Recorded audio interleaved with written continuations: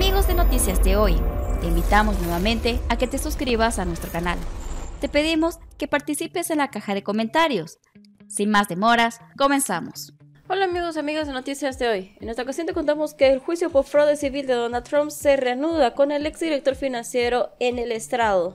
Como jefe de finanzas de Donald Trump durante mucho tiempo, Allen Weisenberg ayudó a salvar a su imperio inmobiliario de su última amenaza existencial, evitando la insolvencia después de la quiebra de casinos y la quiebra de una aerolínea en la década de 1990.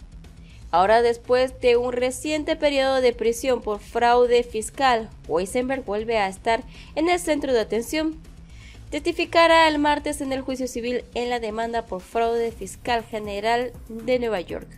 Leticia James contra el expresidente republicano y su empresa, la organización Trump. Se espera que Weisenberg, también acusado en la demanda, testifique sobre su papel en la preparación de los estados financieros anuales de Trump, incluido las conversaciones que tuvieron mientras finalizaban los documentos, que fueron entregados a los bancos, aseguradoras y otros para cerrar acuerdos y obtener préstamos.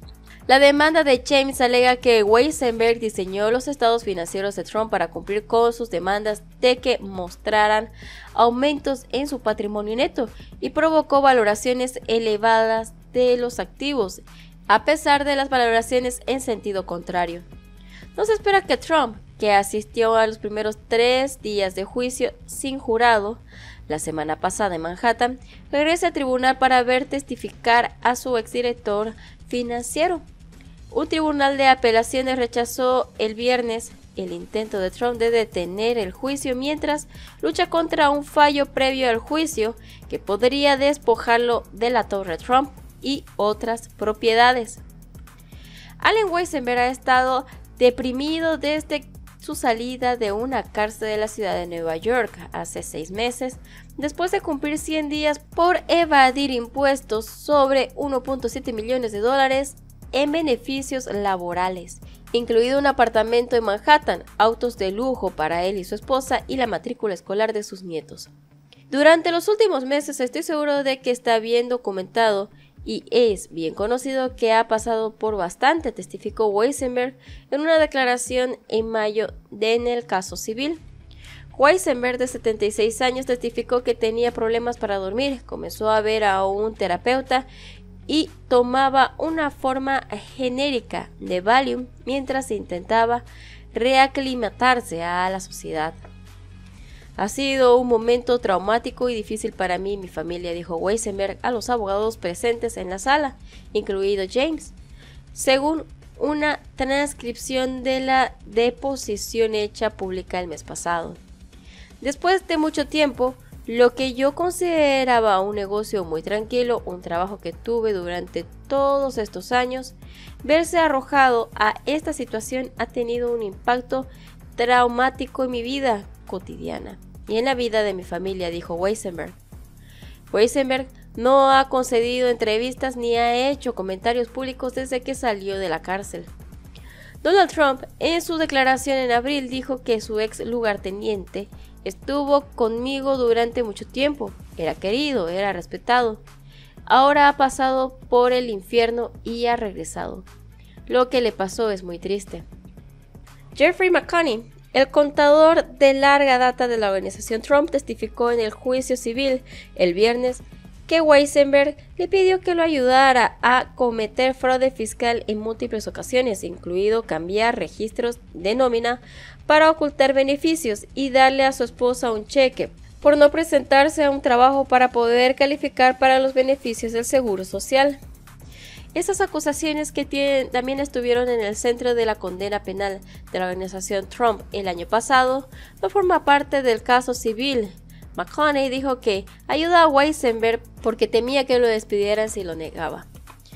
En un fallo previo al juicio el mes pasado, el juez Arthur Ergoron determinó que Trump y otros coacusados, incluido Weisenberg, cometieron años de fraude al exagerar el valor de activos y el patrimonio neto de Trump en sus estados financieros. Como castigo, Ergoron ordenó que un síndico designado por el tribunal tomara el control de algunas empresas de Trump, poniendo en duda el futuro de la Torre Trump y otras propiedades importantes. El viernes un tribunal de apelaciones bloqueó la aplicación de ese aspecto de fallo de Ergoron, al menos por ahora. El juicio civil se refiere a acusaciones de conspiración, fraude de seguros y falsificación de registros comerciales. James buscó multas de 250 millones de dólares y la prohibición de que Trump haga negocios en Nueva York. En su declaración en mayo, Weisenberg recordó que como Trump a veces subrayaba o escribía un signo de interrogación junto a los valores con los que no estaba de acuerdo y cuestionaba el lenguaje utilizado en los estados financieros para describir sus propiedades. Yo podría decir hermosa, él podría decir magnífica testificó Weisenberg. Yo diría que fue lindo, él diría que es increíble. La asociación de Weisenberg con la familia Trump se remonta desde 1973, cuando respondió a un anuncio en un periódico para un contador del padre del promotor inmobiliario de Trump, Fred, propietario de edificios de apartamentos de la ciudad de Nueva York. Comenzó a trabajar para Donald Trump en 1987. En sus últimos años ganó 1.14 millones de dólares al año en salarios y bonificaciones. El caso de fraude fiscal de Weisenberg aceleró su salida de la empresa, según un acuerdo de indemnización que firmó el día después de ir a la cárcel. Weisenberg debería recibir 2 millones de dólares en 8 cuotas trimestrales esa suma se acerca al monto de los impuestos atrasados, las multas y los intereses que debía pagar por parte de su acuerdo de culpabilidad. Hasta ahora, según un cronograma de pagos incluido en el Estado, Weisenberg ha recibido 750 mil dólares en concepto de indemnización. No se espera que Donald Trump que asistió a los primeros tres días de juicio sin jurado la semana pasada en Manhattan, regrese al tribunal para ver testificar a su exdirector financiero. Un tribunal de apelaciones rechazó el viernes el intento de Donald Trump de detener el juicio mientras luchaba contra un fallo previo al juicio que podría despojarlo de la torre de Trump y otras propiedades. Como jefe de finanzas de Donald Trump durante mucho tiempo, Allen Weisenberg ayudó a salvar a su imperio inmobiliario de su última amenaza existencial, se espera que Weisenberg, también acusado en la demanda, testifique sobre papel en la preparación de los estados financieros anuales de Trump, incluidas las conversaciones que tuvieron mientras finalizaba la documentación que fueron entregados a los bancos, prestamistas, aseguradoras y otros para cerrar nuevos acuerdos y obtener préstamos y beneficios.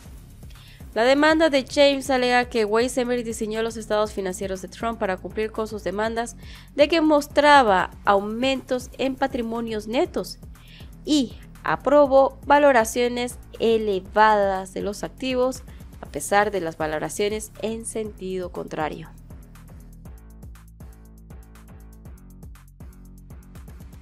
Eso es todo por ahora. No olvides dejar tu comentario y suscribirte.